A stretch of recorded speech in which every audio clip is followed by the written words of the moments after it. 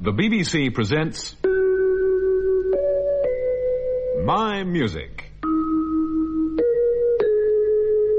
A musical panel game devised by Edward J. Mason and Tony Shryane. And here's Steve Race to introduce the teams.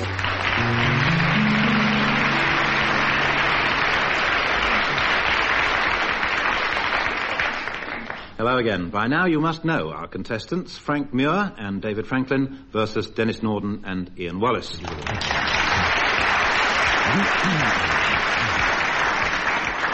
In this first round, gentlemen, each tune has something to do with a colour, like green eyes or a brown bird singing, but not them. Just the title, please, for two marks. And we begin, as always, with David Franklin.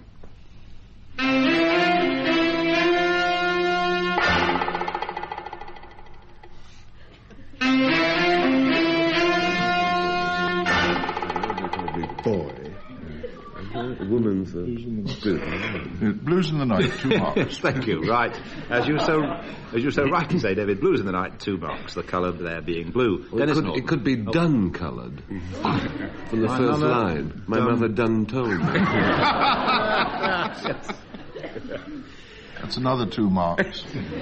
It isn't, but who's counting? Denis, your colour coming up.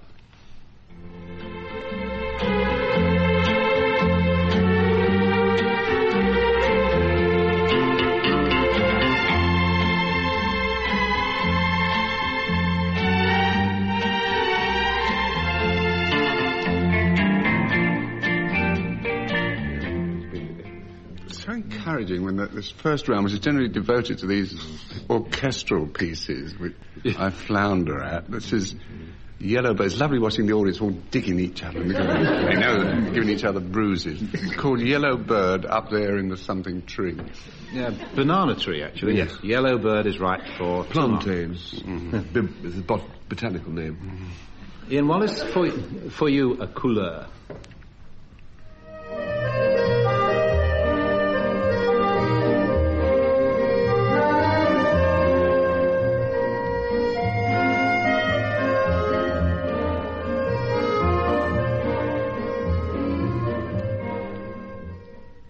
Reminiscent of that pipe music you hear uh, in in the bar in Tossa del Mar, or some such place, or even in the King's Road, Chelsea. I'm just stalling so that my companion can write the colour down. on a bit of- Yeah. I'm, I'm sorry, I thought I had that one off. Yeah. uh, Rose. Yes, because the title is. You've obviously never been to Tossa del Mar either. Vion. Oh, la, oh yes, La Vion. The V- oh, Rose, yes. Rather than the Vin Ordinaire. As you say, a great, great, yes, great favourite of what I like to call musical wallpaper. Mm. That's what that stuff is. Two marks there, and a colour for Frank Muir.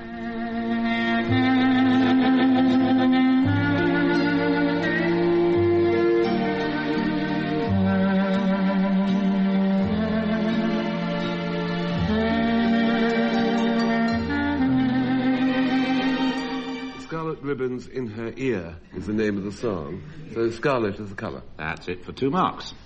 And on to the next round, general musical knowledge for two marks again. David Franklin, what are choke cymbals? Can't be the little picture on the button on your dashboard. it's to do with written music. Uh, no, I, I think I must tell you that you're thinking of the wrong kind of symbol. Oh, I beg your pardon, I was spelling it wrong. Yes. My, I see. my great advantage is I can spell symbols two ways. what is choke cultured. symbols, it's something that you whack. Yes. Now, what are choke cymbals? Uh, I should think that probably a choke cymbal is a thing where you have two of them operated by the foot. That would do, yes. That That'll would do. do. nicely. Good. Two cymbals cupped together on a vertical rod and held tightly, or brought together tightly, so that the sound they make is short and staccato. Would you care to imitate the sound they make? No, not do, the don't do yourself an injury. No, no, no, no. Have I got the full mark? Yes, you've got Good. In that case, I will not do any more. Be like that. I will. You've got two marks, and I will go choop like that. Choop. I think I was going to go in public. I shall choke. press on to the more amenable, I hope, Denis Norden. Denis, for your two marks, what is a postlude? Post? Post lewd sounds like a dirty postcard.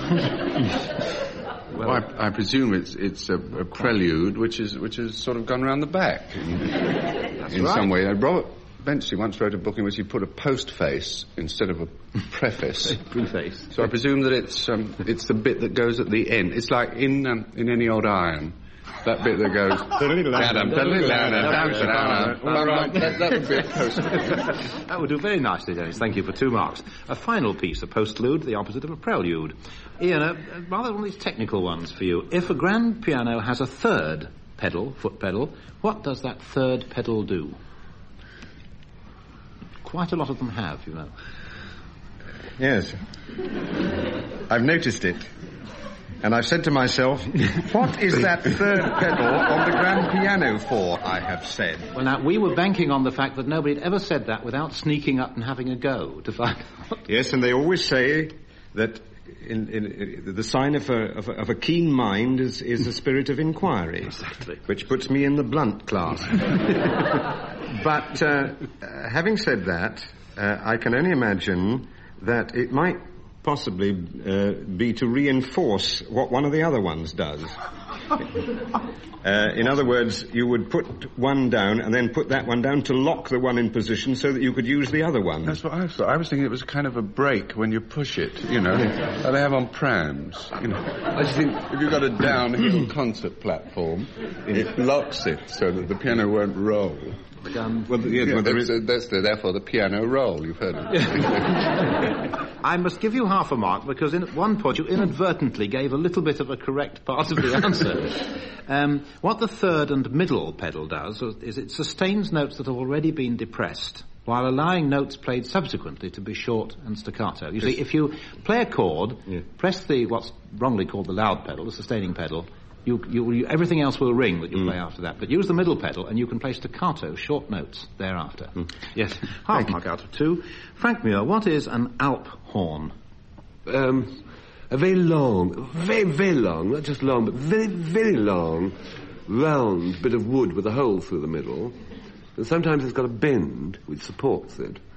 And um, Swiss peasantry, laughing Swiss peasantry, in leather knickers, blow down one end at dusk to call the Gruyere cheeses in. yes. I'm happy to say your, your answer's much more fun than mine. Uh, two marks, Frank. A wind instrument having a wooden tube anything up to 12 feet long, used by Swiss peasants to call the cattle home. Nowadays, I'm told, they sometimes use them to fool tourists, having an accomplice in the distance to provide the echo. A tape recorder, I should think. anyway, two marks. We hear now some uh, singing, some ladies and gentlemen doing singing of operatic or ballad music. One mark for the title of the piece, another for the composer. David.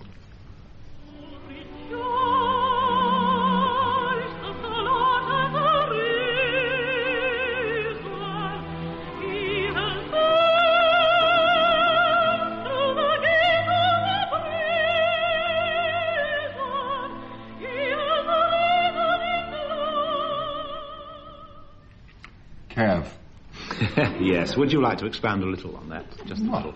Cavalleria Rusticana. Yes, which piece from it, though?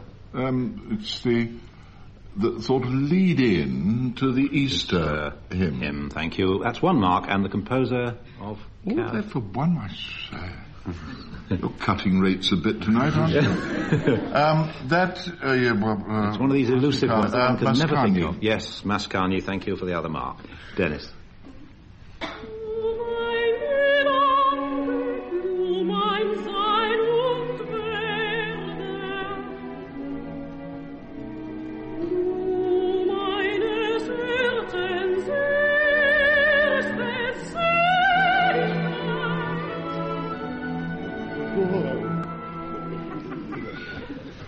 David Franklin is smirking.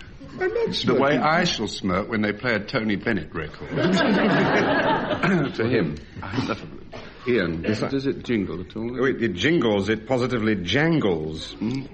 Um, I, think I think we might we might ask for, for one of his uh, All right, one of your subtle. um, Celebrated and re- lead us down the wrong alley type clue.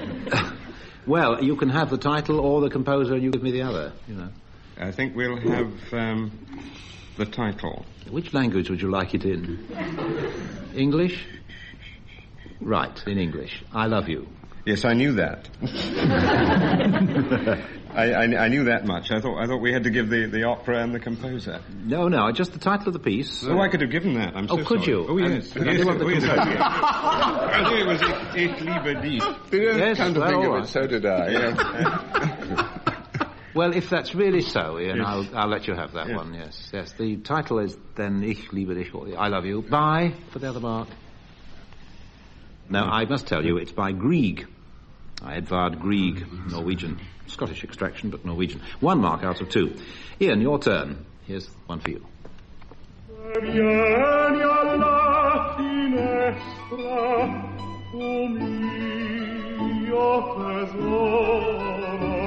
Vieni alla finestra, o mio tesoro, vieni a consolarmi pianto. Title, composer. Do you want it in English or Italian? Uh, I'm happy to tell you I've got it here in both, so either will do. oh, well, it, it's um, it's De Vieni alla finestra. yes. uh, which uh, it's just the serenade of um, Don Giovanni or Don Juan Yes, thank you. uh, by Mozart. Mozart, or Come to the Window, perhaps in English. Come yes. to the window, yes, Marks. that would uh, Yes. that would do very well. Thank you, and Frank's turn. Violet smiling and timid, greet coyly the stars high above. Roses are whispering in secret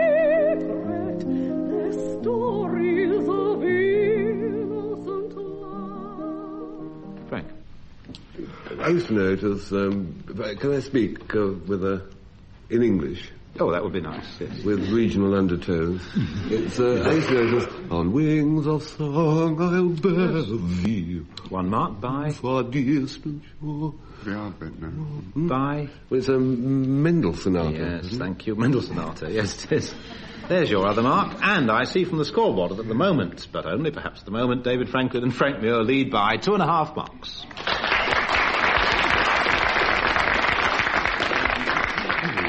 Let's just test the audience on instrumentalists and which instrument they play. Menuhin audience plays the violin, thank you, tell me, and Artie Shaw plays the clarinet, thank you. Here are some perhaps slightly less easy for our contestants. For one mark, and now please audience, don't help him this time, for one mark, David, which instrument does Lionel Tertis play? He doesn't play it now, no.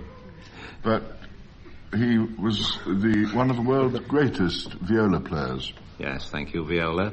Lionel Tertis viola is right. Denis, for one mark there. Denis, which instrument do you connect with Dizzy Gillespie? I connect uh, a beret and a beard uh, and dark glasses and a trumpet. Yes, thank you. A mark there. Ian, which instrument did Glenn Miller play?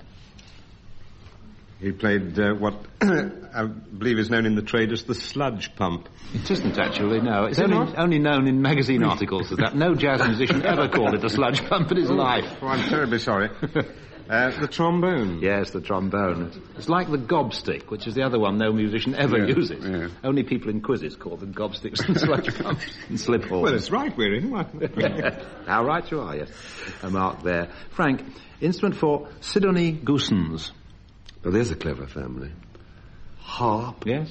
Yes, lady harpist, sister of Leon, Marie, uh, Eugene Goossens, and so on. As you say, a fine musical family. One mark. It occurred to our question compiler the other day that quite a few song titles contain the names of famous painters. See if you can spot the painter, David.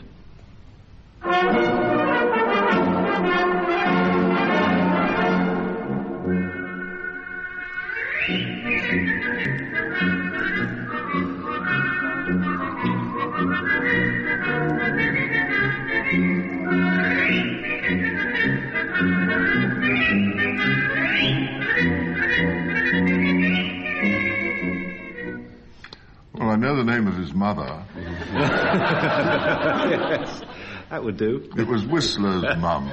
Yes, Whistler. The painter, James McNeill Whistler. Thank you. Two marks. Denis, you have to work this one out a bit. Oh, great.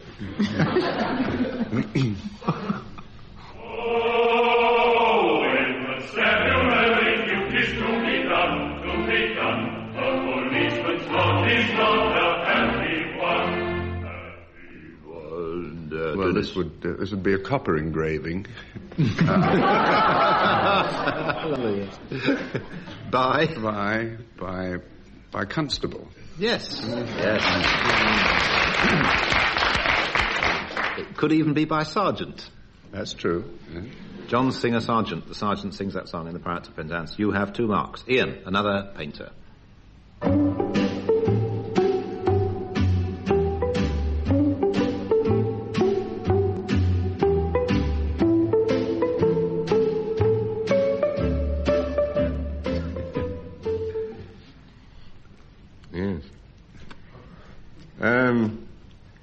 Monet. Yes, Monet is the root of all evil. Claude Monet is the root of all evil. Or Manet, if you... Oh, How about a different chap? Oh, I know a different, chap, but it was just a different pronunciation. Oh, yes, too. yes, yes. Oh, you've got two marks. Have you any Manet? Another painter. Another painter for Frank this time.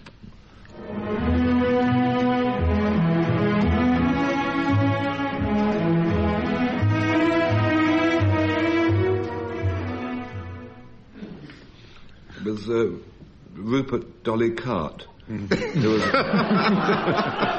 who was an amateur painter. or it could be uh, Salvador Dali. Hello, Salvador Dali. Yes, hello, Dolly. Two marks. Here's the bit you've all been waiting for, the singing round. Or singing square, as it's called. Graham Dalley. Watch it. Don't like me getting laughs, Frank. No, I know. Graham Dalley starts off a tune on one of his keyboard instruments, and you, gentlemen, pick up the tune for a mark, the words for a mark, and there's a bonus mark for carrying on where he leaves off. David.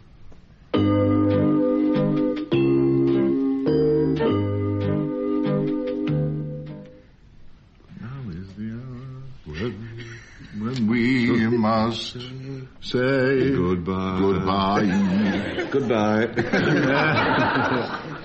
And on. Uh, I prefer not to, but if you insist, I'll see what else there is still left in stock. Got anything more? it's a Maori song. I shall cut in at this point and give you um, one mark for carrying on the tune. Uh, well, I don't know, half a mark for the words, I suppose, and half a mark for only very quietly going back to the beginning. so that's two out of three, and you'll count yourself very lucky. I think. collapsed. Some singing for Denis.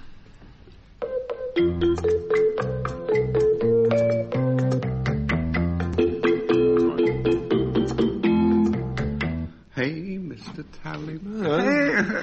oh, I had it till you. st- That's sung by Harry Belafonte. Yes, right, the first topless male singer. Um, hey, Mr. Tallyman, tally me banana. Daylight come and I want to go home. Day-o, day-o, day-o, day-o, day-o.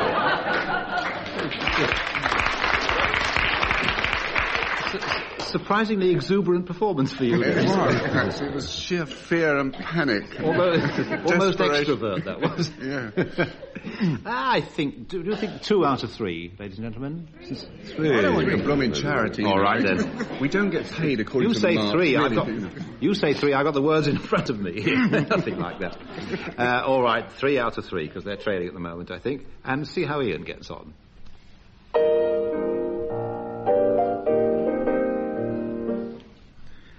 The, the sun, the Of nights in Sing- of days upon the shore, of days upon the Nights shore. in Singapore. That pair of gay pajamas A gay pair of gay pajamas that I bought but never that I bought but never wore.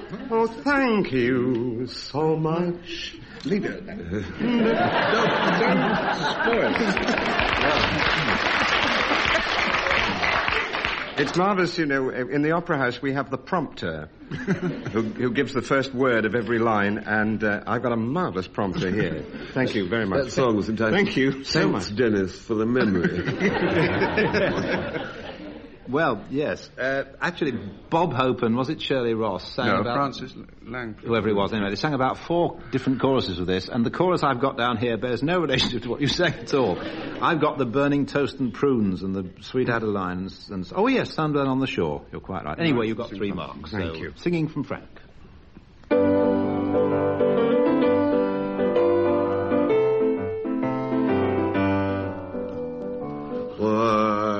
Up in the ocean, the Navy's cavalry. The worst lyric line ever been. the Navy's cavalry. Signs over the fish shop. They'll be flying tonight. Wings over the Navy. The Navy's cavalry. It's really nothing like the word. With a Uh, one and a half out of three is the best I can manage, Frank. One and a half out of three. Here's a test of your knowledge of shows or films, who's in them, who sings what, and questions of that kind. David, in doing what comes naturally, one finds the same sort of philosophy as in I'm just a girl who can't say no. Can you name, please, the two composers concerned? Doing what comes naturally, I'm just a girl who can't say no. I can ask that, answer that absolutely briskly and with complete confidence, no. Edward, Edward Byrne and Richard Rodgers. On the other hand,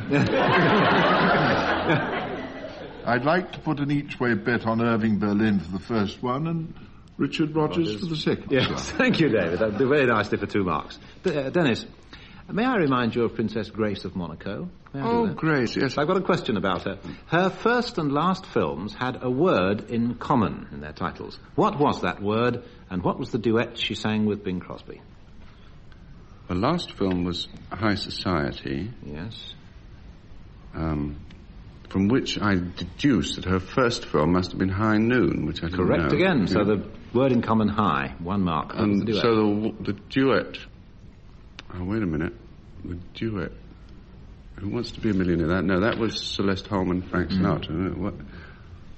It was True Love. True Love. It True be. love is right. I give to you and you give to you. You give to me. That one. Yes, two marks. Ian, the first two films in which Cliff Richard starred earned him million-selling discs. What were the two big hits from second of those films? That's a nasty one, isn't it? The second, because I was all primed up to say Summer Holiday. That was the. It was Summer Holiday. Oh, we wanted the one from the second one. Yeah. two hit songs from Summer Holiday is what it amounts to then. well, well, one was the, the, su- the Summer Holiday itself. no. No. Well, Not surely. a record-selling, million-selling disc hit. No. All going on a summer holiday. No. Oh, yeah, that's well. I, I think I, it's a that's the one I, I. I, I remember hearing. And Well, by- there you are. The answer I have here, I have two answers. Would you like to try for another song from the same show? I don't think Next I could time be- there was a because song that, called Next Time, but Ah. they probably didn't sell more than a dozen. the, the, the, Yes. the one I, I remember from it was Summer Holiday. Well, we're, you're right. But uh, anyway, I have to go by the book, and it, the, the next time was one. It's the one he sang on the Areopagus overlooking the uh, Parthenon, if you remember when they got to Greece. And the other one, Bachelor Boy. That was the big success from the uh-huh. film. One mark out of two then, Ian. Frank, her film debut in Romance on the High Seas gave her one hit song. Later, in Calamity Jane, she had another. Can you name the songs concerned? Lots of people have played Calamity Jane, haven't they? Mm-hmm, but not lots of... Only one of Yes. Doris Day. Yes, Doris Day. Now, two songs. One from Romance on the High Seas, her first film. Her biggest. Well, let's, let's go back to the other one, which I saw. Yeah. Um, it's the, the Leopard stage is coming on over the hill. No, no, no, that was, uh, And there's... Uh, once I had a secret love. I'll buy that for a mark. She was on a horse at the time. I'll buy that for a mark. Yeah. And Secret Love. her, her, her other big hit was... Uh, you smile and then the begins. You smile and I hear violins. It's magic. There's your other mark. Yes, two marks. And on that merry note, I'm afraid we end my music for this week with a victory by one mark for Ian Wallace and Denis Norden. Goodbye.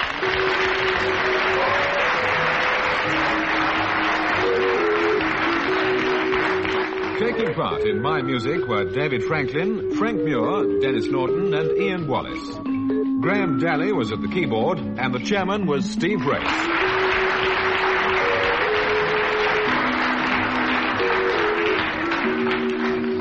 The questions were compiled by Edward J. Mason, and the program was produced in London by Tony Shryane.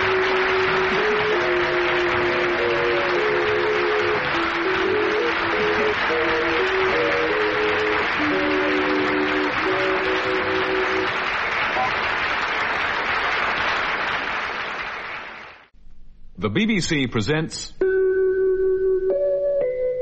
My Music. A musical panel game devised by Edward J. Mason and Tony Shryane. And here's Steve Race to introduce the team.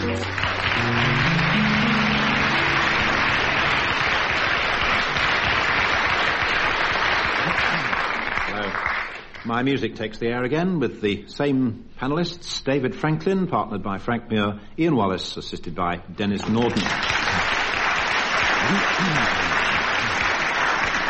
we begin with David. This round concerns Wagner overtures, or in Wagner's own word, preludes. Same thing. Just a mark for the title of the opera, and I'm afraid in this round, no second thoughts, gentlemen. We begin with David Franklin.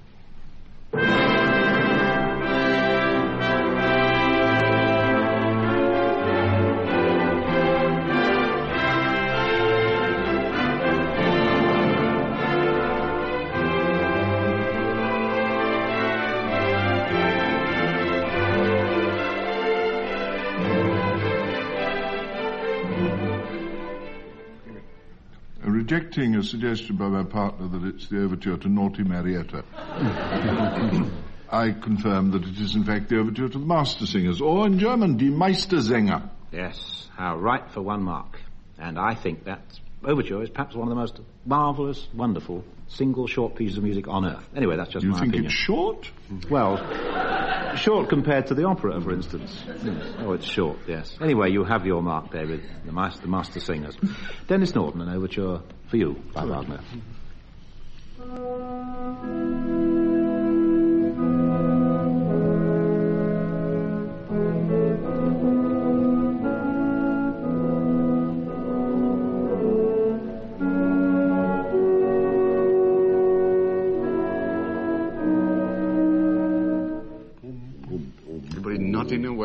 Away there. oh, yeah. Well, no second thoughts. Because there were no first thoughts. or in German, well, well uh, you, you think it's Tannhauser? Yes, I do. Yeah, well, there's a body of opinion here that thinks it's Tannhauser or Yes, Heuser. yes. You said that with great conviction. You're right for a mark. Uh, musical people, knowing that um, Wagner overtures are coming up, will be waiting for the interval of a minor sixth, and they're going to get it now because this is Ian's turn.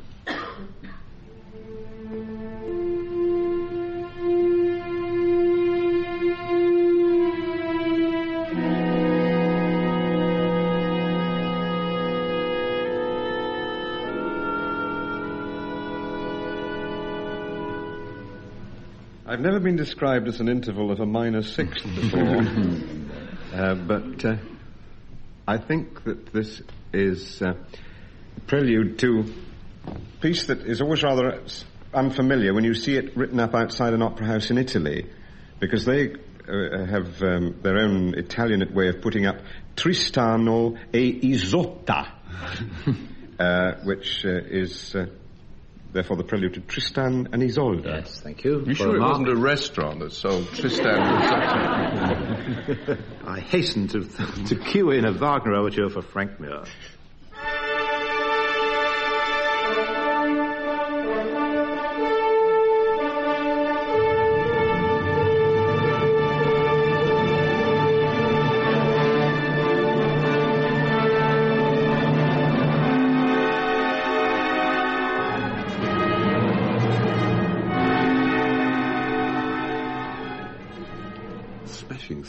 Isn't it? How the West was won. doesn't it? Have you done? Yeah, I've do got- the West. It's the Western approaches. yes, It's probably. uh, Der Fliegende Holländer. you got that from your friend. Well, what of it? it's allowed. All I said was Flying Dutchman, and Frank immediately translated it into German. like that. Yes, for a mark. Very good. I took Very good. German between October and December 1936. Die Fliegende Take it very far, by Wagner. Very, very good. Big boned music, isn't it? Hmm. Here are some questions on general musical knowledge. For two marks, David Franklin, what is a soubrette? And can you think of a soubrette part in an opera? A soubrette. The light soprano part.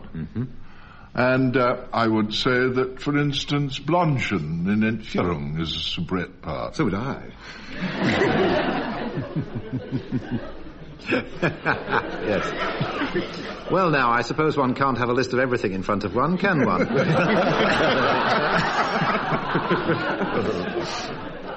one must bow to the superior knowledge of one's panelists. What have you got there?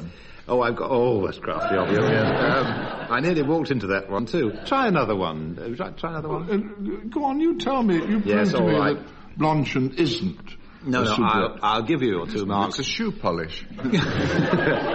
A soubrette, soubrette is originally a comedy actress who played a waiting maid, but generally speaking, a pert female character part taken by a light soprano. Well, there you are. Well, you've got your marks, but I. Is a serving maid who is pert. Well, there you are, exactly. You see, I've got. Fair maid of pert.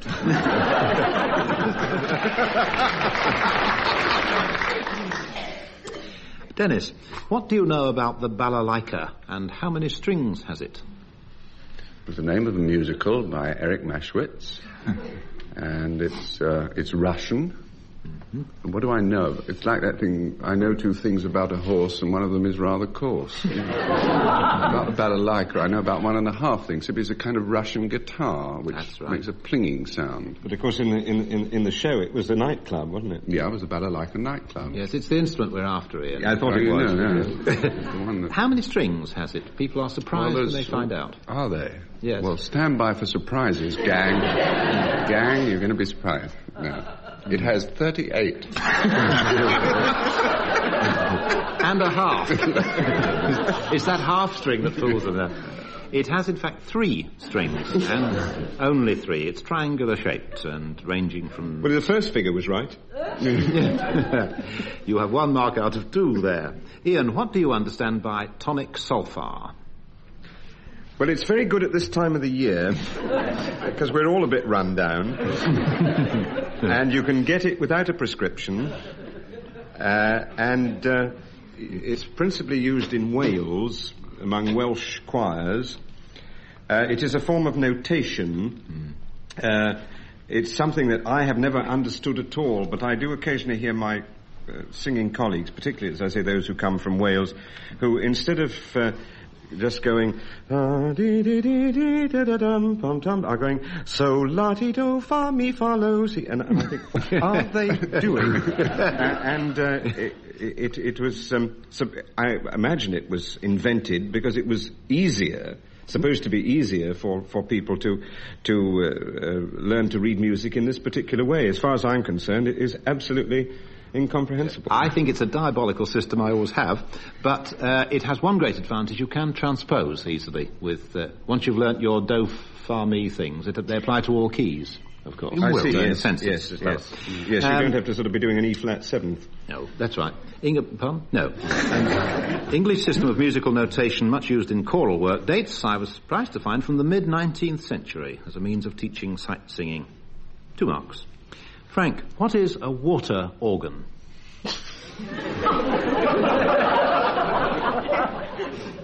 It's, it's, it's uh, name uh, expression applied to um, uh, very antique um, central heating systems, which make a noise uh, euphoniously in the night.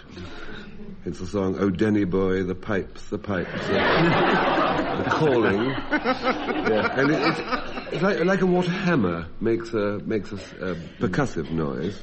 A water organ makes a melodic noise. Um, two marks out of three, and uh, I will desist any further. Or it could be a, a, uh, an organ where the pipes, instead of being um, worked orally or by hand, have um, water injected up through them. No, I've, I'll cancel it. It doesn't make sense. I'll buy that one. it's a hydraulic organ, is what you mean, isn't it, in fact? Yes, there is a connection between organ and water in the answer. A type of organ invented many centuries BC by the Egyptians, used by the Romans and others. It drives air through the organ pipes by water pressure. And it is, in fact, the oldest form of organ known. Fascinating. Yes. Two marks for interest. Here are some vocal odds and ends to identify. David, listen please, and then tell me which aria from which opera.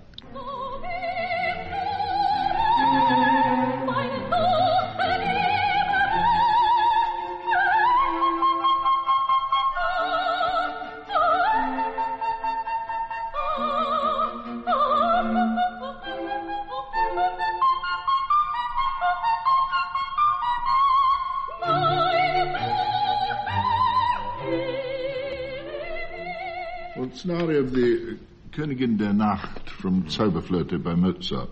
Yes, thank you. Would you like to, would you like to put the composer's name into English for No, any of that into English, please, would be welcome. No, I, I prefer to think of it in German. No, well, come it on. was the aria of the Queen of the Night Yes. from Mozart's Magic Flute. Flute, two marks, thank you, yes.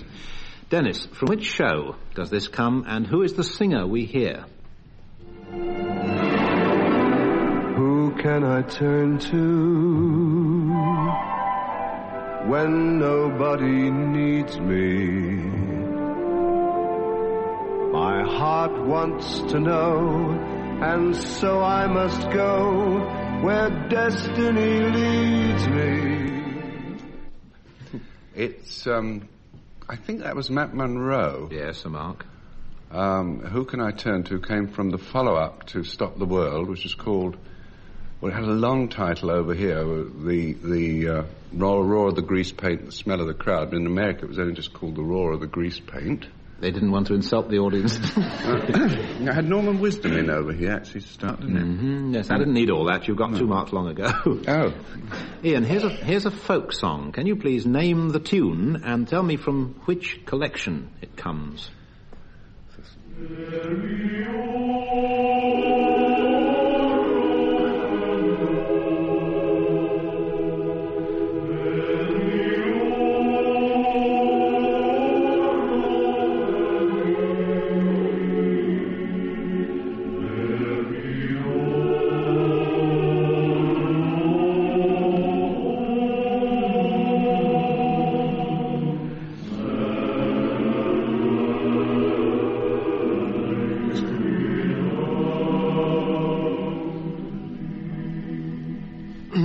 A Scottish or a Hebridean Aha, song. You're on the track, yes. Uh, Kennedy Fraser collection, I would Yes, think, probably.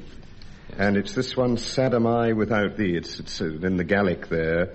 And um, it's um, the Eriskay, Ah, the on. Eriskay Love Lilt. Thank you. Two marks. Frank, what's this called and who are the two singers?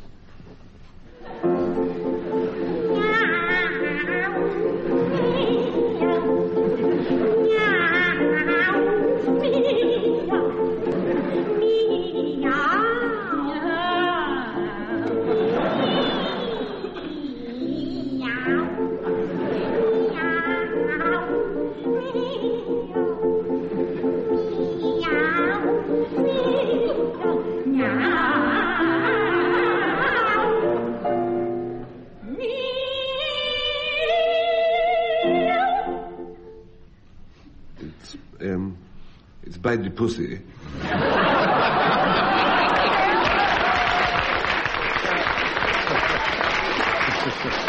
it's sung by Tom and Jerry.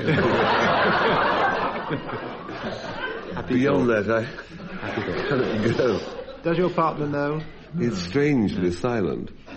I, I was absolutely baffled by it. You you have this sort of Ian monk-like calm, usually associated with playing the number one record in the hit parade. But you don't know it? No. No, well, Ian- no. You'll be so mad when you find out who Ian it is. knows. Yes. Well, Ian, you, you tell him. You tell him, Ian. But it is Elisabeth Schwarzkopf and Victoria de Los Angeles, accompanied by Gerald Moore. That's right. Do you know the title of what they're singing? Uh, it's a piece by Rossini, I think. right. Can you give A us the ca- a sort of number? cats, The, the Due Gatti, That's the two right. cats. Duetto buffo de duo And I catti. imagine it was the recording of his farewell concert at the festival. Having a bit of fun for, for dear Gerald, yes, quite. The Cats duet by Rossini, it was, as you say, Victoria de Los Angeles and Elisabeth Schwarzkopf. Uh, well, I can't give you any marks, I'm afraid, there. I can but turn to the scoreboard and find that at the moment, this stage of the game, Ian Wallace and Denis Norden lead by one mark.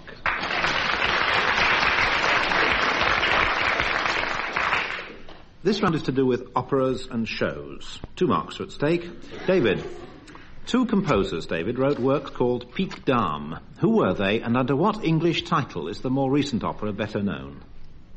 Um, one of them was written by Francesco Ermenegildo Cavaliere Suppé Demelli. I may have missed out one or two names. Absolutely right, yes. And the, The other, other one, the other was written by Tchaikovsky, and the name under which that is better known is Queen of Spades.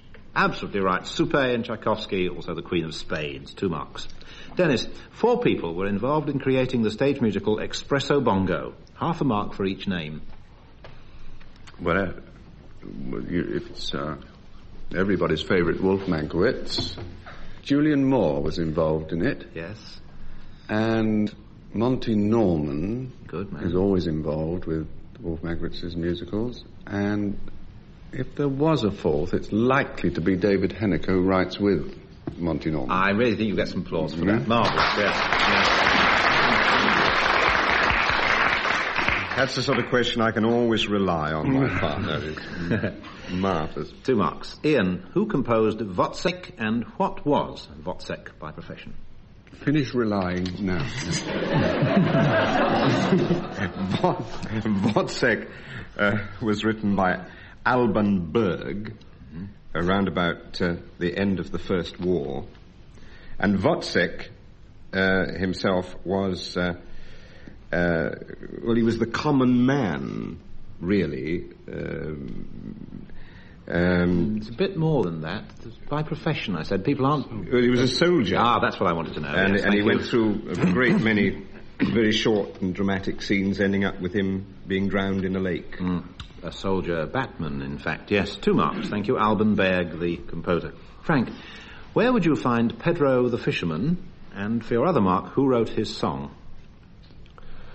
You'd find him uh, belting up the beach at Lisbon yes. when the chauffeur's already bringing the car with the ribbons on round the front to take the bride away because he's a, he's a fisherman uh, who's beloved by the lady who's about to, to marry a fat vineyard proprietor. In fact, she's actually at the altar when this, this fisherman, to attract her attention, breaks into whistles. Due to the fact that Harry Parr Davies discovered that if you put in enough whistling and recitativo, like, and then lovely job work out, and then uh, uh, Miguel, Miguel, my father said you don't have to write so much rhyme stuff. The title of the show was The Lisbon Story. Lisbon Story. Two marks. Thank you. Films and film music. A mark for the name of the film. Two more marks for the names of two top stars from the film. David.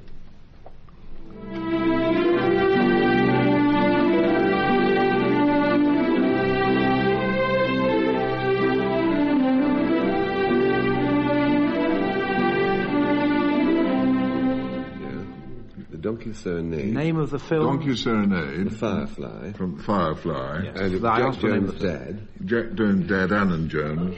Yes. And uh, Jeanette... No, no, he didn't twitch. and the donkey. and the donkey. You've said it. It's good enough. Firefly was the film. Jeanette MacDonald, Allan Jones. Uh, Denis, your turn.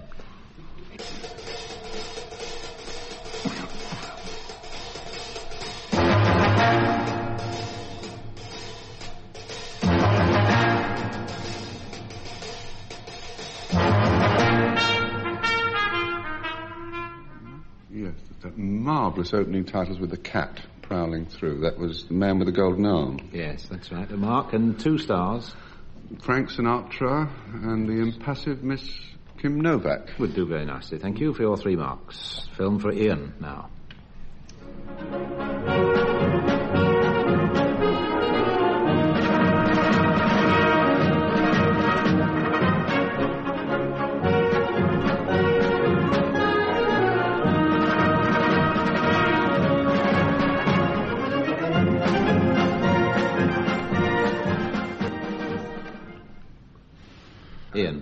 I can do here is to guess uh, on the type of music. It wouldn't be a film called Tunes of Glory by any chance. No, but you've got the right sort of subject, or perhaps the composer has led you into the right sort of sphere because it's a military kind of subject. Yes. Would you like me to give you the stars and you name the film, or the other way around? Which, whichever way, uh, whichever way Denis Take would the like it. Take the stars. take, we'll take the stars. Yes. Right, well, there's a long list here. David Niven, Anthony Quinn, Gregory Peck, Anthony Quayle, Stanley Guns of Baxter, Navarone. James Robertson, Justice Richard. Yes, Guns of Navarone. Uh, you have then the one mark out of the two there. And some music for Frank.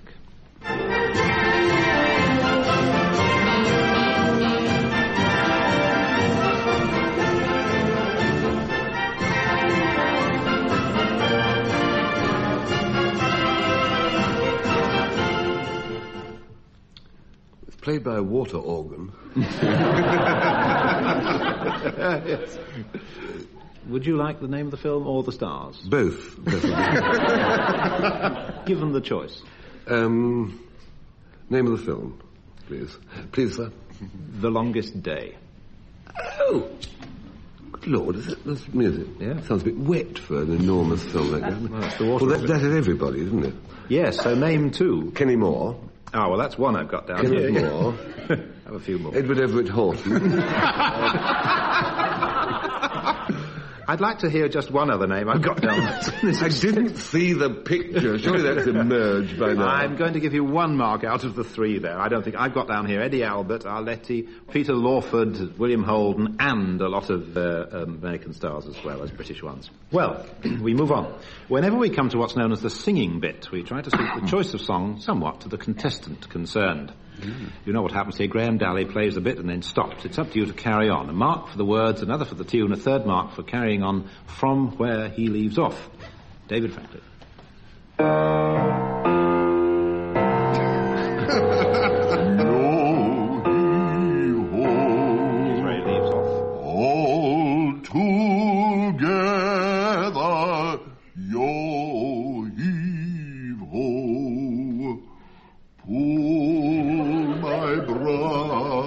This is the distant effect. Pull my brothers. Pull Come in, number seven.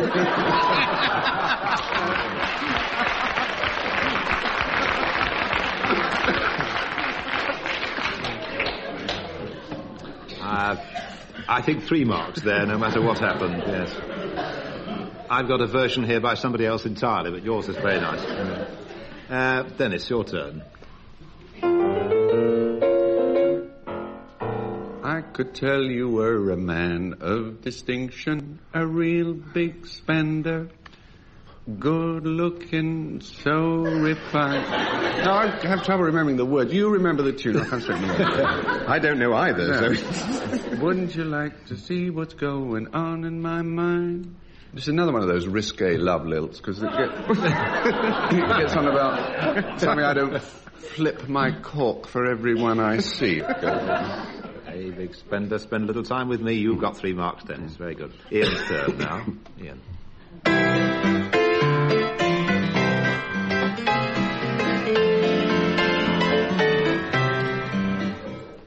If you have ten sons in a row, football teams make money, you know. So keep your sunny side up, up. Let the sunshine come through. And then you'll never believe the next bit. S- Stand upon your legs, be like two fried eggs. Keep your sunny side up.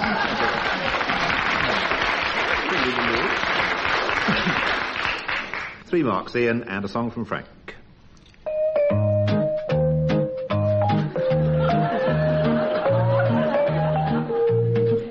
You are. Happy landing on a chocolate bar.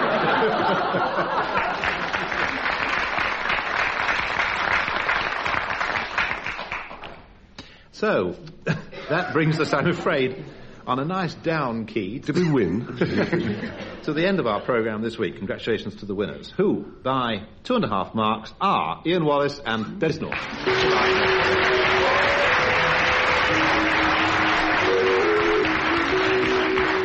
Taking part in My Music were David Franklin, Frank Muir, Denis Norden, and Ian Wallace. Graham Dalley was at the keyboard, and the chairman was Steve Race.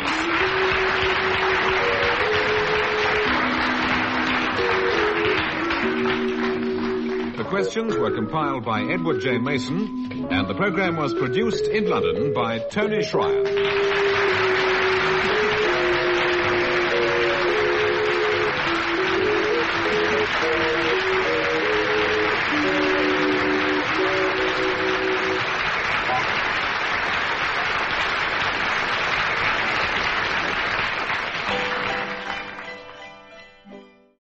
The BBC presents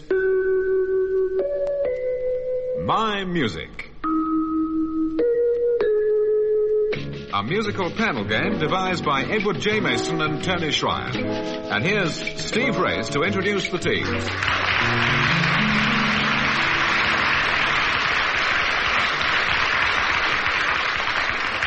We invite you to another session of My Music. David Franklin and Frank Muir are on one side of me, on the other are Ian Wallace and Denis Norden.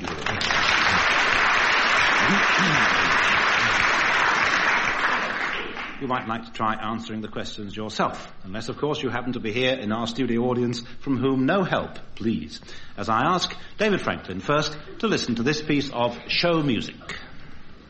We get packages from home, we get movies, we get shows, we get speeches from our skipper and advice from Tokyo Rose. We get letters doused with perfume, we get dizzy from the smell. What don't we get? David, what is it they don't get and where?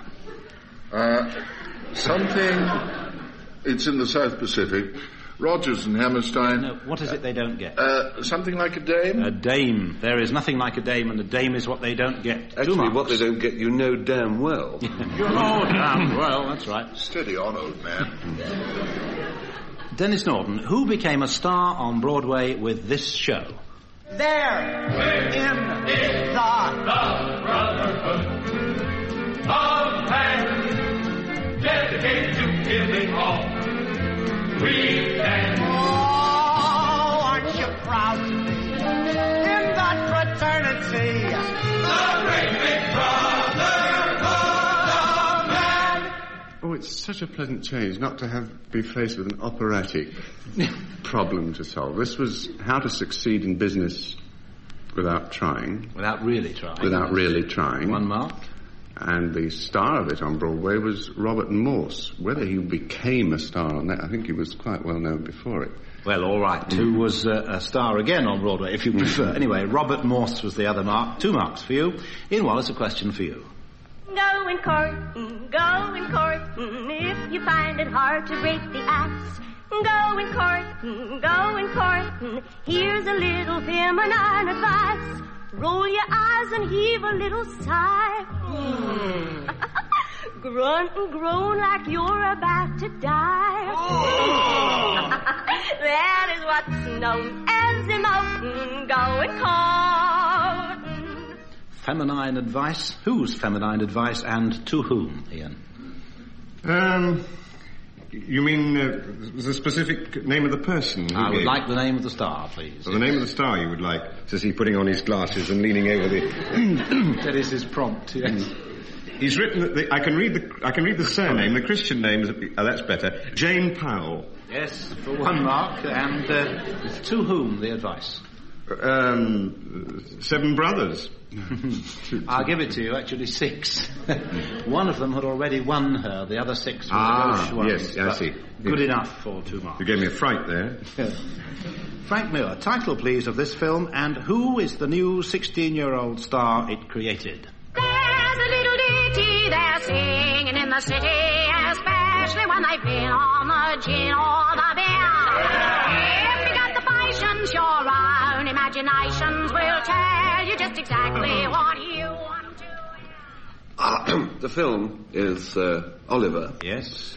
Um, Shani Wallis plays Bill Sikes. but, um, No relation then. no, no, no. Or the dog. Um, new 16-year-old star created by that film. Uh, do you mean Oliver? No, I or don't. the artful uh, codger? Yes, that's more like it. Name, please. Um, Frank Muir. and, uh, Not quite. Frank Muir, uh, I can't remember, not having seen the film, the name of the artful dodger. You don't know, in fact. No, no, no. Jack Wild. One mark out of two. Next round. Everyday questions about everyday music. Well, actually, some of it's a bit far out, but see how you get on for two marks. David Franklin, what is a baguette? What? A baguette. It's a French loaf. You're very near. It's also a small French lady. Or or. it is a French bagpipe. No. Sorry. Isn't it? No, it's It not. was when I played it. Baguette. B-A-G-E-double-T-E. No, B-A-G-U-E-double-T-E. Ah, well, a baguette. Son bag. a baguette. I, it's difficult, so I'll give you a hint. I've got two references to two of them here: baguette de bois and baguette d'éponge. Well, one of them is made of wood, and the other one made of blancmange. I'm They're going, therefore woodwind instruments. now, I'm going to give you one out of two for a very brave try indeed. Baguette is the French name for a drumstick. Also, sometimes a baton or the wooden part of a violin bow. Baguette de bois, wooden drumsticks. Baguette d'éponge, sponge-headed sticks. I must say, a drumstick made of blancmange is a thought. That's what you got your mark for. It's such a happy thought. Denis Norden, what is a lure? Just in case there are anybody who's not familiar with this word, could you, could you spell it? Oh, preposterous thought. Yes. L-U-R. oh, yes. Well, that lure. yes, yes. You, yes. Well, this this is um, music. Mu- musically, you mean? Oh, yes, the musical. Well, you know there is um, musical terms of of approbation and approval, like um, bravo, maestro, maestro. Is it? Well, this is a musical term of disapprobation and disapproval. For example, if I were to say, particularly to this team, I am now going to sing, they would say the L U R.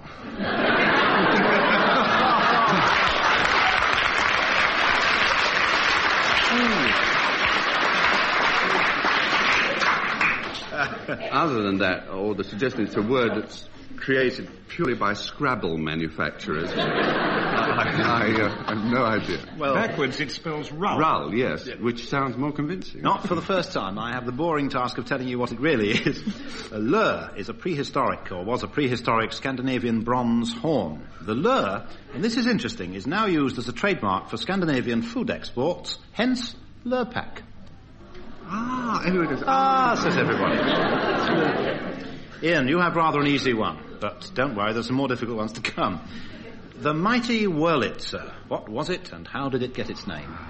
Well, it, that's uh, is a bit easier. Yes, uh, it is an organ, uh, a cinema organ, a very large cinema organ, mighty, in fact. and uh, it uh, was uh, made by a, a gentleman called Wurlitzer or Wurlitzer, I suppose he might have been.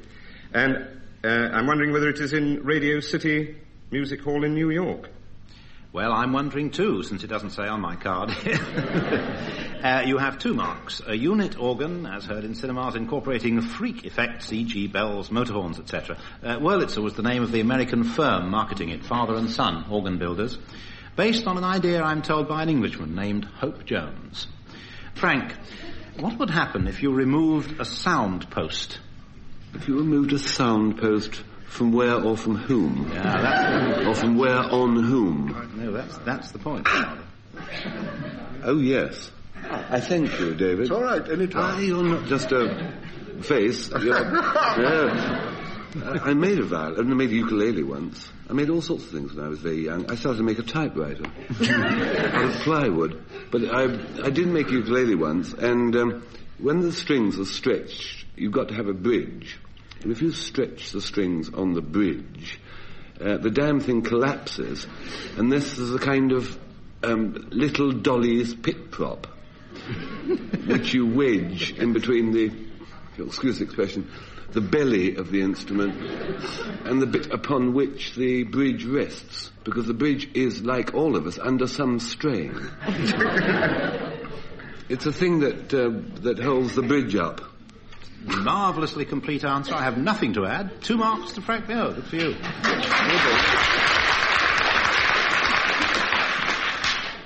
Every member of our cast was once a child, with one possible exception.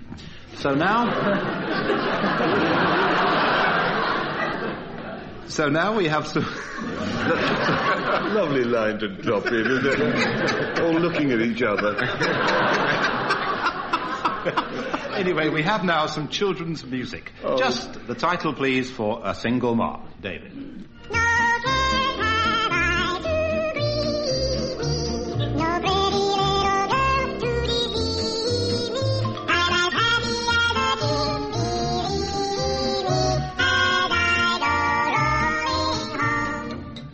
Rolling home, rolling home. Title, What title. extraordinary lot of children you have. I got sixpence. Ah, thank you. One mark. I've got sixpence. Denis Norden, yours. A tissue, a tissue. Oh, they, they all fall down after that, don't yes, they? they do, Oh, what is that? It comes in the middle. Ring, oh, Ring a Ring of Roses. Yeah. Yes, one mark. Ian, the title, please, of this song. Home again, home again, dig-a-dig-dig.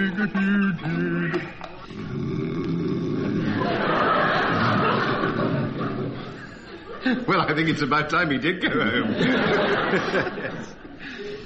Uh, any ideas? Rolling home again. What is it? Jiggity. Isn't it to market to market? Well, it must have something to do with a pig. Your Yeah. friend has got the idea. To market to, market to buy. A fat pig. Do Yes, it with that's children right. on your knee. Yeah. To market, to market, to buy a fat pig. One mark. Frank, can you name this nursery song, please? Upstairs and downstairs in his nightgown.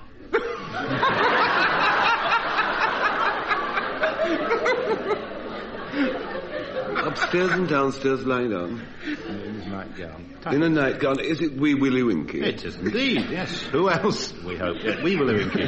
One mark. Opera. Ah.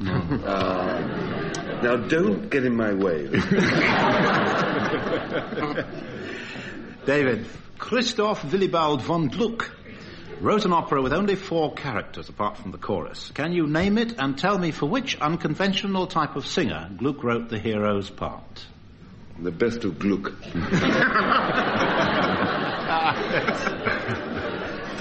Well, how about Orpheus?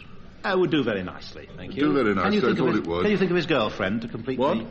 Think of a girlfriend, Orpheus? Is that part of the answer for which I get a mark? Yes. Have I got to name all four characters? No, no, no, just Orpheus and. Well, Eurydice. Yes, however Or Eurydice. Yes, or... or as she was known in the family, Peg. Thank you. and the, what was it, the unusual Un- voice? unconventional, I said. Unconventional, Unconventional. type of singer. well, I don't know whether I ought to mention the word in company. Try. Well, this may be my last broadcast. Promises, Go promises. down, let's go down with our colours flying. A castrato. A castrato, yes. Thank you for your uh, well-won other mark of male alto. Nowadays, the part sung by a contralto. Two marks. Denis Norden, you may not think you know opera, but you do. You'll know this one anyway. In which of Verdi's operas, Denis, do Pistol and Bardolph appear, and for what voices were they written? Well, Pistol and Bardolph come from Henry IV and Henry V and Merry Wives of Windsor, so it must be something with Falstaff. Yes, that'll Was do. there Falstaff. He did a. Fall, yeah. And for what was, it, what, what was the other bit? that, what, what voices were they written, Pistol and Bardolph? Oh, I, I, I just had a, a flash here. Um, bass and tenor. Bass and tenor is right for your two marks in all. Thank you. The opera full Falstaff. The libretto was based on The Merry Wives of Windsor plus bits from Henry IV, Part 1.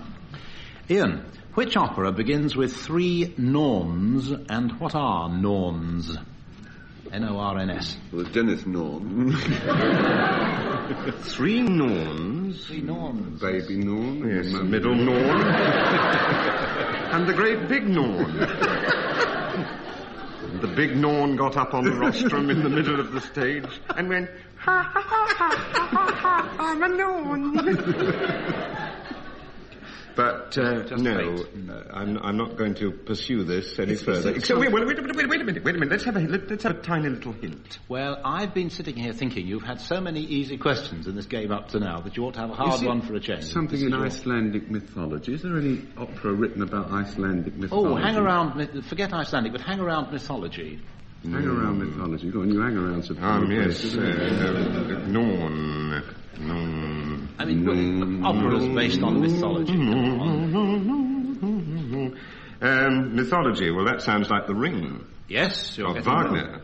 Mm, yes. None now, but I want them- lonely heart. Well, it can't start. It can't be. I, I, I, I'm not. I'm not very up in the ring, but uh, I, I, it's not Rheingold anyway. So we can dismiss that because that's that starts with. Um, Never mind, go on. With What- rhyme. You're right. Sing it. You're still right. You're still all right. So then we come from from uh, from that we come to um, we got Götterdämmerung at the other end. Ah, you got it. One mark.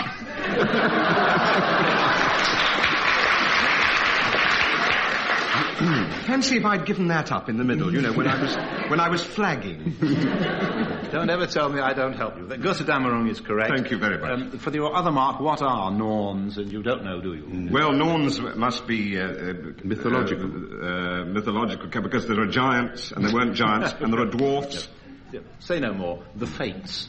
They were weaving the rope of fate. You've got one mark out of two. Frank Muir, in which opera and by whom does a half-wit appear in the last act dressed as a bear?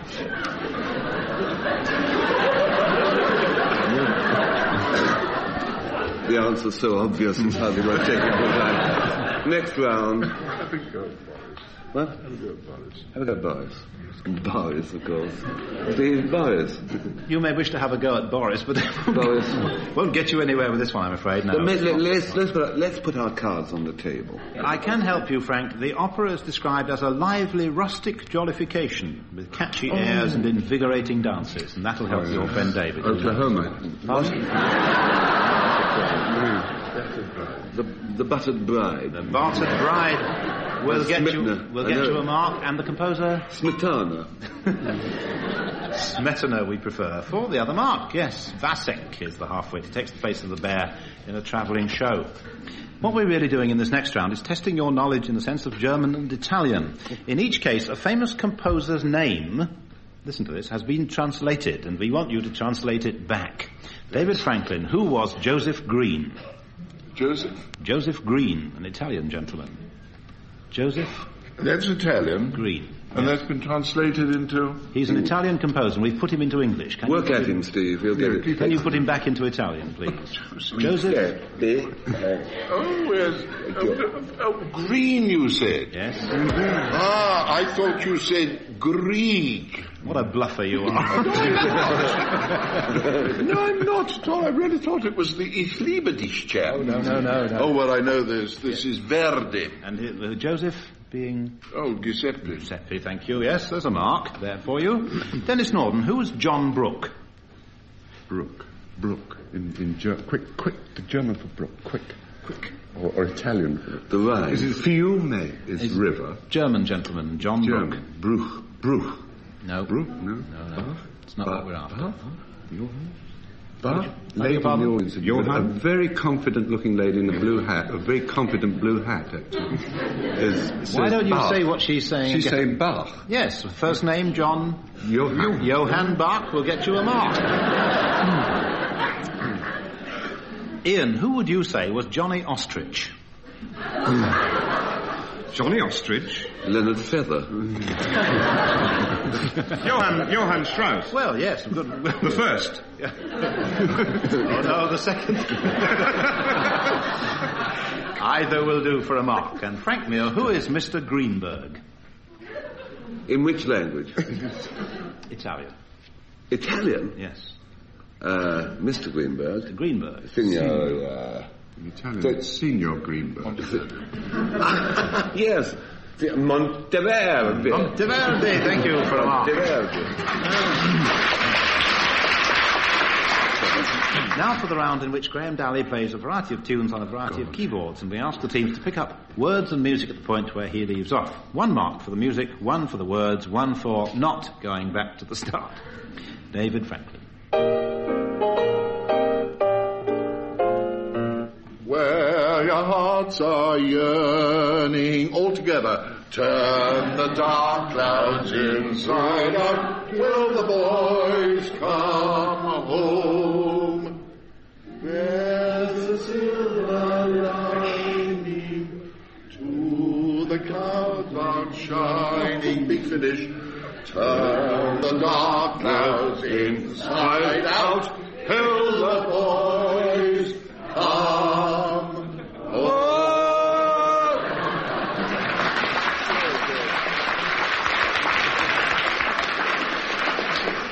Lovely. I'm awarding you two and a half out of three. Because you put the last line in the middle and missed out completely, though your lads are far away, they dream of home. It was a lovely, stirring performance. Well, they got, the audience got three, you got two and a half. Rehearsal, seven o'clock tomorrow night. Denis Norden, your turn to do some singing.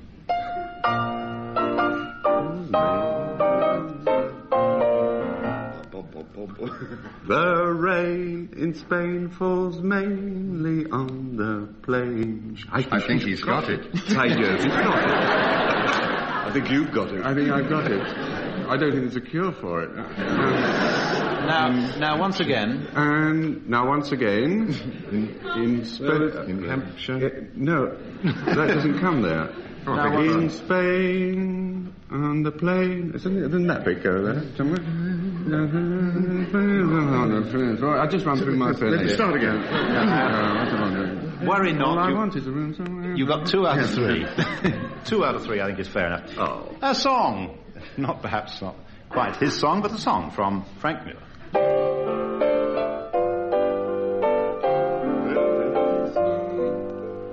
Somewhere in heaven you, you were fashioned for me.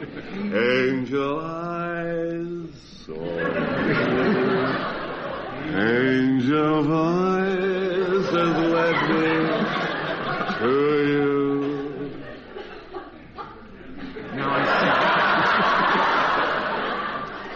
Your I voice used to- tonight, boy. I used to, used to sing this, listen to a record of this in Iceland, where I fought for 18 months during the war trying to get home. I think they used to put the lights out about then, that's all I know. Made a bit of a Reykjavik of that, didn't you? It was. Um, uh, you got halfway through, and I think uh, two and a half out of three. It goes on. Nothing can save me. fate, fate True gave me a sign, and so on. What I say, maybe. He's off again. That's worth the extra half mark. It is actually, yes. He's come back with the other half. Three Be marks, all right. Just to confuse my scorer here, Sylvia. Ian, you'll find this one very, very difficult, but there's nothing like a problem for cooling the blood. Here's yours.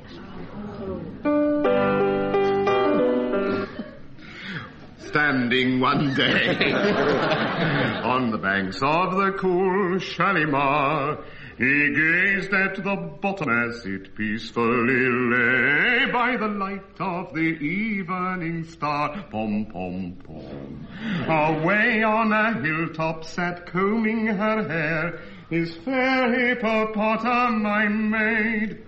The hippopotamus was no ignoramus, so sang her this sweet serenade all together now. Mud, mud, glorious mud. And nothing quite like it for cooling the blood. So follow me, follow, down to the hollow, and there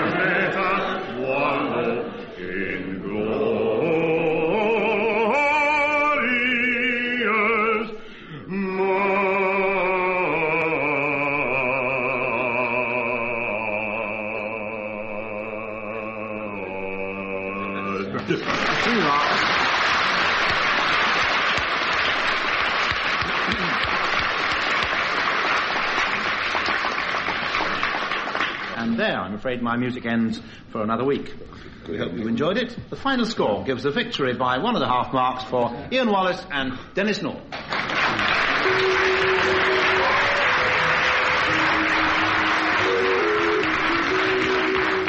Taking part in My Music were David Franklin, Frank Muir, Denis Norden, and Ian Wallace. Graham Dalley was at the keyboard, and the chairman was Steve Race.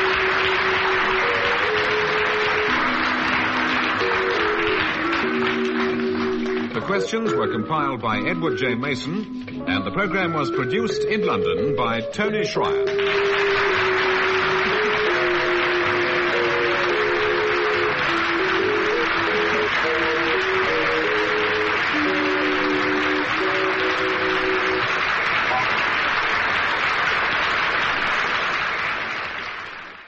The BBC presents My Music. A musical panel game devised by Edward J. Mason and Tony Shryane. And here's Steve Race to introduce the teams.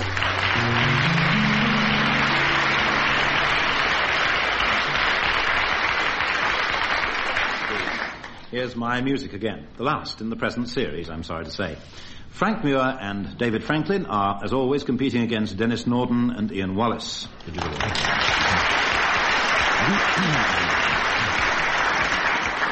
In this first round, I want, please, the name of the orchestral piece and the name of the composer. Music first for David Franklin.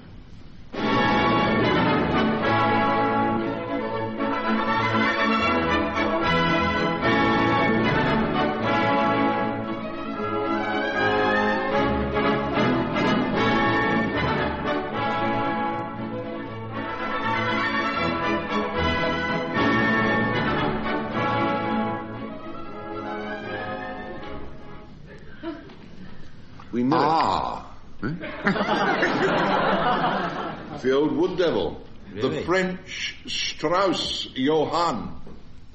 This is Waldteufel, isn't it? Yes, it is. Wald, wood, Teufel, devil, do you see? Ah, A devilish cunning. One of the- one of- Now we Singular come. jokes, yes. You want to know what was playing it? No, the title. Ah, I was going to tell you it was an orchestra. you want the title? Well, let's not fool about, because I don't know what it's called. One mark for Waldteufel. It's called the Grenadiers Waltz. No, one out of two. Denis, one for you.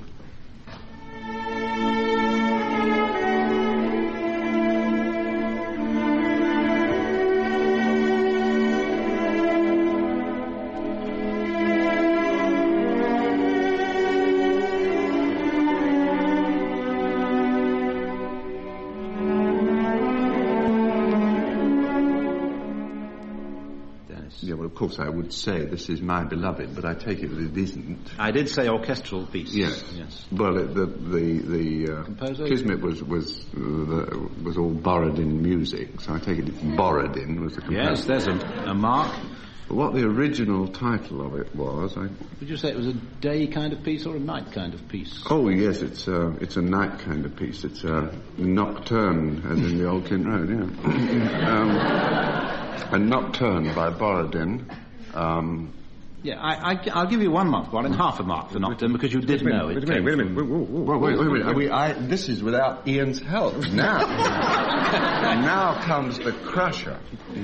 Ian, go in and, and the coup de grace. No, I don't think I can do that. Oh, but well. I've got a feeling that w- w- w- if we mention Prince Igor, we've got a little bit more. No, no, no, I'm We afraid you're going further away. Oh, we're going further away, are? Yeah, no. I've already given you one David and a half keeps out. holding up four fingers. I don't know whether this is a bribe or inducement. It's the size of scotch he wants, actually. Yeah. I'm. Um, before things get any further out of hand, you've got one and a half marks without deserving it. Stick at that. Borodin, Nocturne from Quartet Number Two. Ian Wallace, your turn. What's this? And by whom?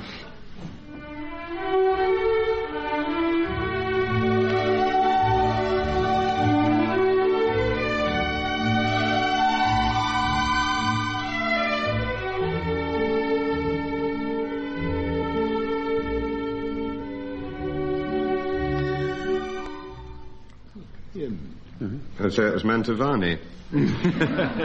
Which is not the answer to the question. I know the words of it, but Yes, and uh, and the fingers of the law. No, no, it's the instrumental ah. piece we're yes, no, a, a, uh, uh, a brave try, Denis. Hmm. Thank you. Frasquita Serenade by.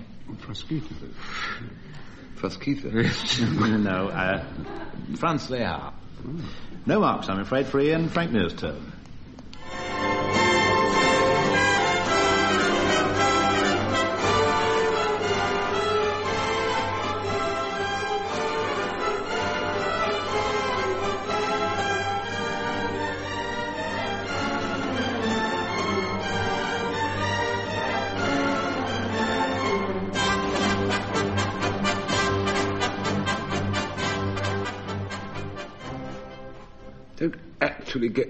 Don't actually get to the tune, do they? They sort of march up to it and then march away again. I think it's on the flip side of Frasquita's Serenade. My mate and I have the opinion that it might be Slavonic. Yeah, well, that- yes. how does that grab you? It grabs me fairly well. You're going, you're going to chicken out of this one, are you?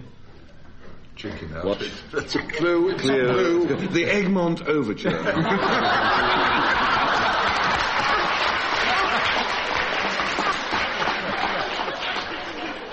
Oh, how I wish I could. how I wish I could give you marks for that, you know. Like half a mark, for instance. Okay, audience? Right, yes, half a mark. It's the bridal march from Coq d'Or, the Golden Cockerel. by Rimsky-Korsakov.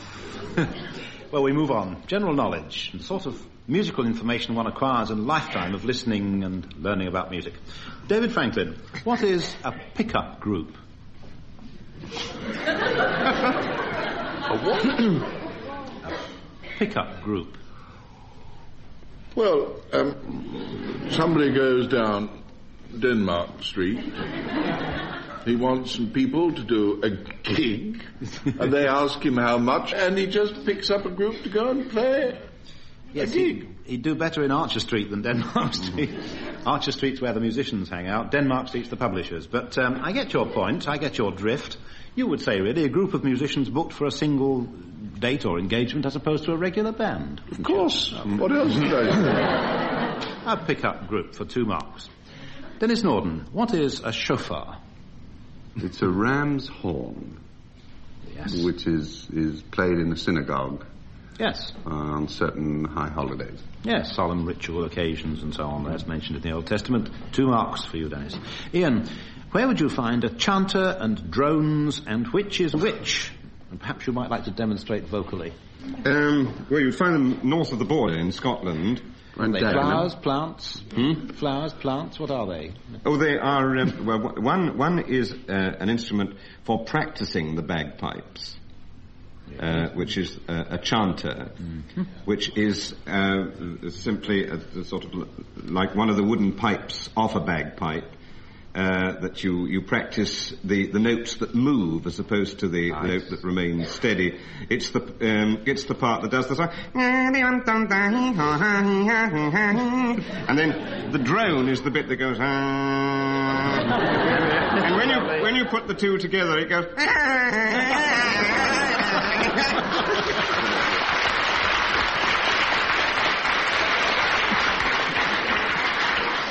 And don't expect to get another word out of me tonight. Two marks. Um, Frank, here's a quotation, Frank, from rather an up-to-date musical reference book, and I quote, The man whirls the woman between his legs, round his neck, and over his head in a jazz-inspired ecstasy, keeping up a frantic shaking and rhythmic movement at the same time. Which 1927 phenomenon are they describing? Uh, one of those um, black bottom, big apple efforts. That kind of thing. One particular one I'm after, though. The. Uh, it's not a cake walk, is it? I mean, it's more like a No, cake I- mix, isn't it? I wouldn't have been so specific as to the year if it had been just something like the cake walk. It was the Lindy Hop, celebrating Lindbergh's solo flight across the Atlantic. Can't give you it, I'm afraid. I thought it was a dance held in Lindy's restaurant. No, the Lindbergh Hop over the Atlantic. Strictly speaking, the word opera means hard work. Yeah. yeah, yeah, yeah. concept with which Denis agrees. We're going to hear bits of operatic arias, and I'm going to ask you for the name of the aria and the name of the opera. So we begin with David Franklin.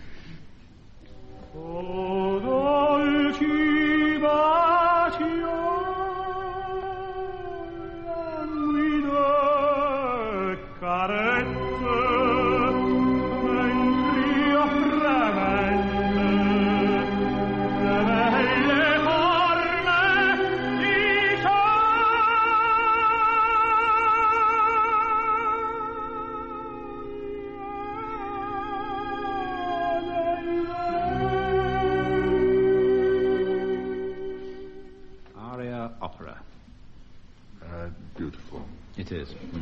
Carried me right away. Almost made me forget Literally made you forget. Almost literally made me forget where I was, what I was doing, because it brought me back to Tosca. Ah, yes, one mark. Last act of Tosca. Name of the aria. And I should be much happier if only I could remember what the devil the Italian is for it. I'll give you the first word, shall Yes, I? O. No, no. A. Oh, yes. Um, A. lucevan le stelle. Yes, that's right. um, you're absolutely right, you and the lady in the front row. Um, No, no, she wasn't even looking at me. She was pointing to the stars, my friend. When Well- the stars were brightly shining. Oh, I'll give you two there. Two. Incidentally, very ni- I've heard that very badly sung, and that was beautifully sung, I thought. Giuseppe Di Stefano. Anyway, we move on. Aria, please, and opera for Denis Norden.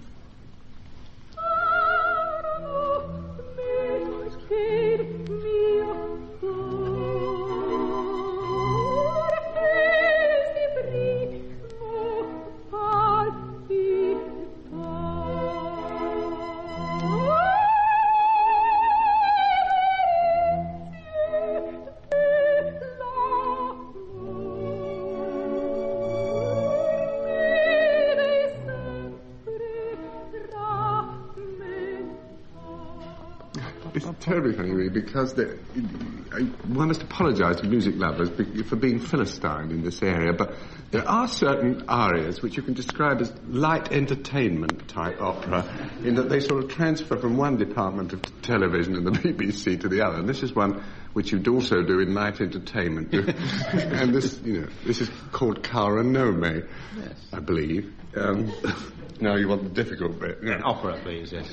Rigoletto. Said Ian. Yes. Said Ian, That's right. yeah. Caro Nome, dear name, from Rigoletto. Sung, in case you're wondering, by Callas. Well, you're going to hear Björling now. Anyway, Ian, I want from you, please, again, the title of the aria and the name of the opera.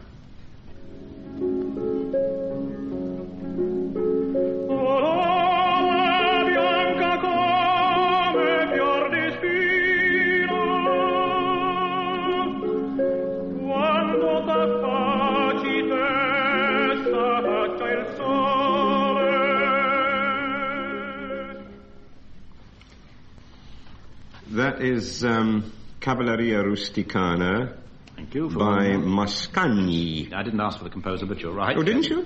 No, no. The name of the aria, please. Or Oh, the name of the aria. Now how, that it, how it is familiarly known. yes, that is um, that. No, I'm not going to waste any time on that because I I, I really don't know. The Siciliana. Oh, Lola, fair as a smiling flower, is an alternative here. One mark out of two. Frank Muir's turn.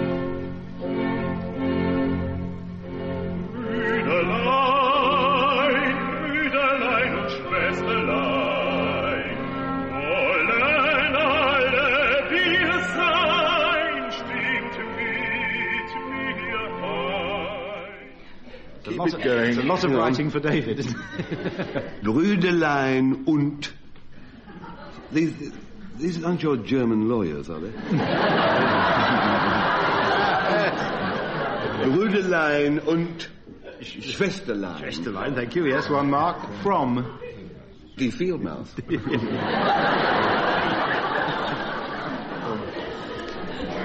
Uh, yeah, all right. Thank you. Yes, Two marks. You flayed a Fledermaus. Actually means the bat, but never mind. uh, looking at the score for the moment, Ian Wallace and Denis Norden leading by one single mark.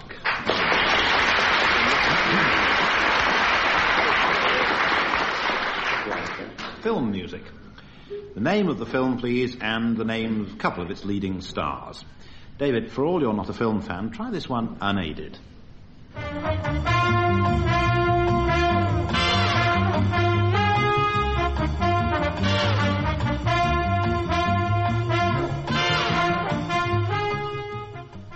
All right, then try it aided. No, no.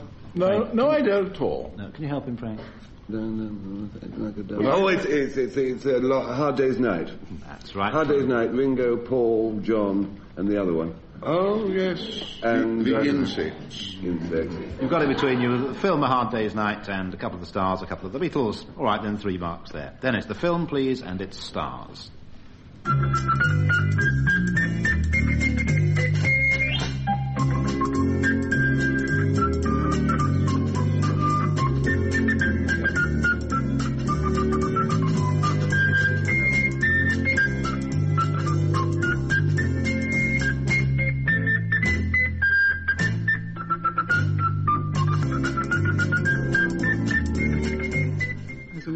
Ship. Yeah, the name of the film then? ah, no, it's been in two films. It was in a version of Tonight at 8.30 called Meet Me Tonight with Ted Ray, uh, Ted Ray and Kay Walsh sang it. Um, I think much better than anybody else.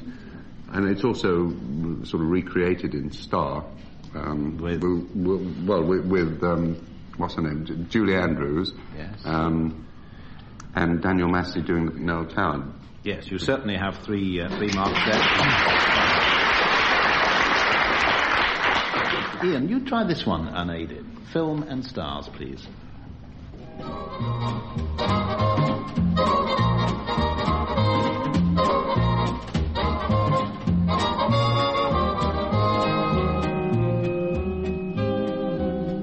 Well, the tune is the Continental, Yes.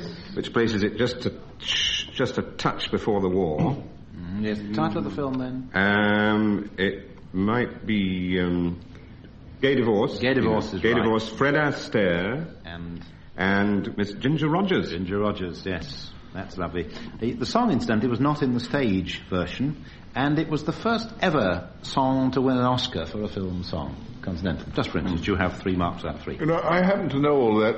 I saw it on television recently. and, Frank, for you, a film.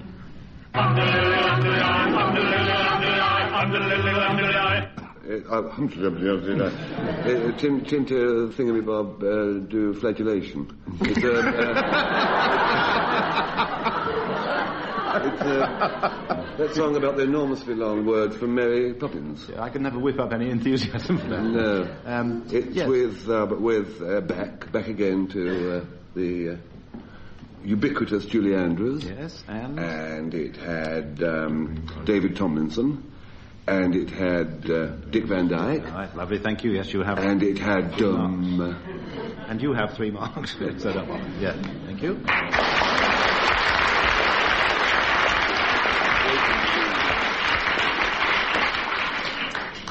Sullivan and Gilbert.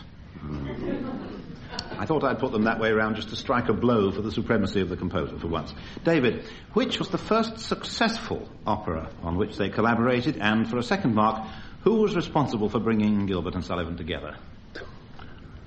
Um, well, it was the merciful hand of Providence. brought them together. What a lovely answer for a mark. The part of the merciful hand of Providence was played by D'Oyly Carte. Yes, yes. The first opera on which they worked, it was Trial by Jury, my lord. Trial by jury, my lord. I'll marry her myself. Two marks. Well for done. you. Yes, very good.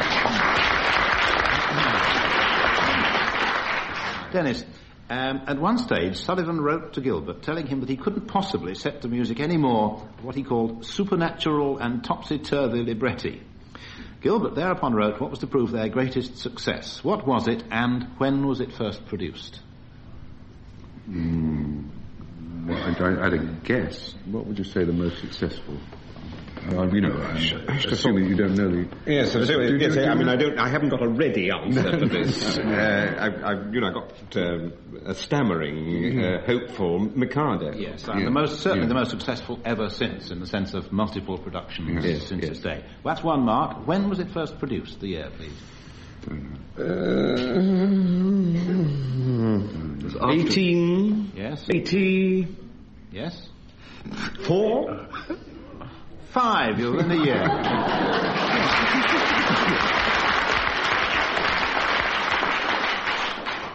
If I'd said 1815, you'd believe it. no, I wouldn't. Uh, Ian, your turn. Uh, they wrote uh, a work together which opened in 1892 and ran for 245 performances, which is a lot of performances.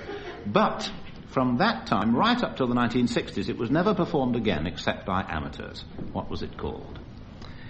Um, would that be by any chance Utopia Limited? It would for two marks. Good Well you, yes. Very good.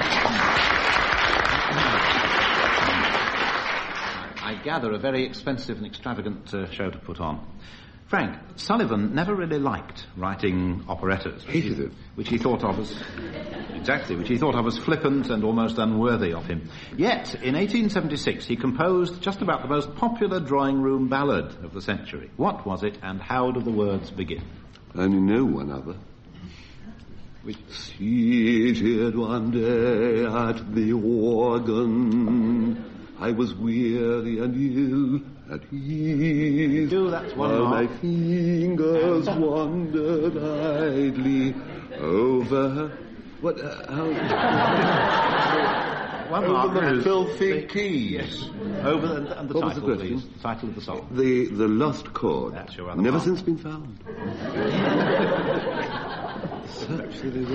We come now to the last round of the last show in this series of My Music. A sad moment indeed. Graham Dalley will play tunes on a variety of instruments, and we ask the members of the teams to carry on where he leaves off for three marks. First song for David Franklin.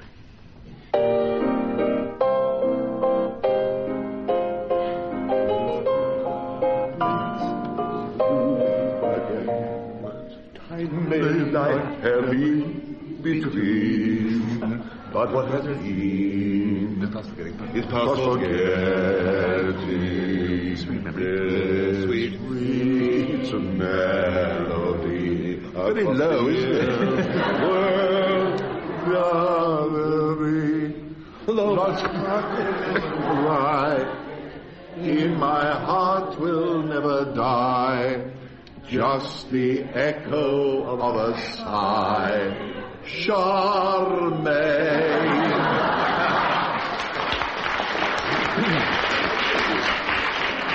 Charmaine is right. Three marks for Benjamin Franklin.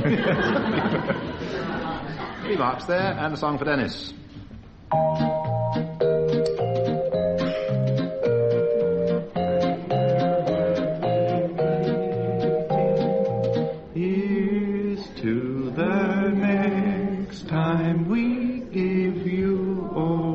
All our greetings. Stay in the same key as Denis, please. Say it with something. Sing it in rhyme. Boom, boom, boom, boom. Now all together.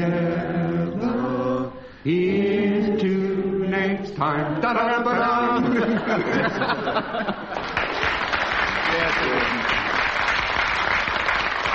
Three marks for Denis Norden. Ian Wallace, your tune.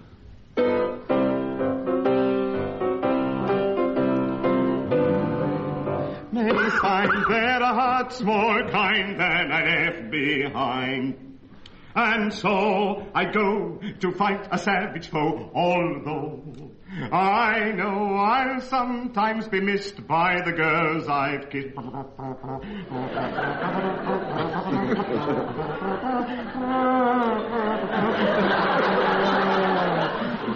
A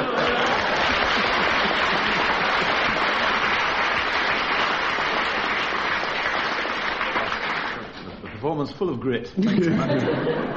Three marks and a song you might even be able to guess which for Frank Muir and the rest of us. Frank.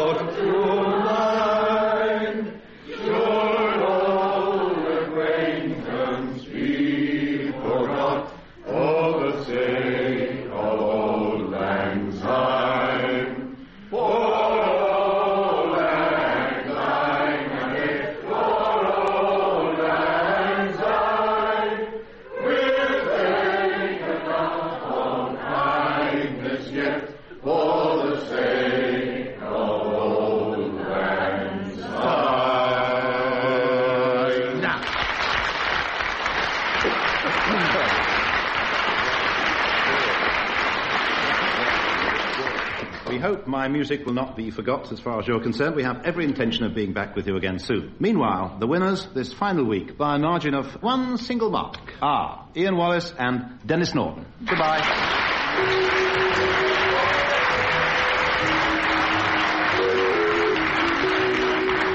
Taking part in My Music were David Franklin, Frank Muir, Denis Norden, and Ian Wallace.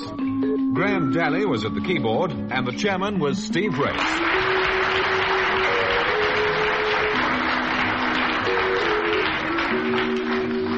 The questions were compiled by Edward J. Mason, and the program was produced in London by Tony Shryane.